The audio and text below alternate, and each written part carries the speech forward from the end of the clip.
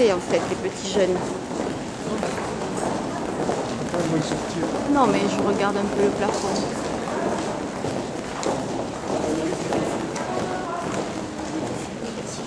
D'accord. Tu me dis, Tiens, vas-y, c'est prêt. Allez, vas-y, va t'y mettre. J'appuie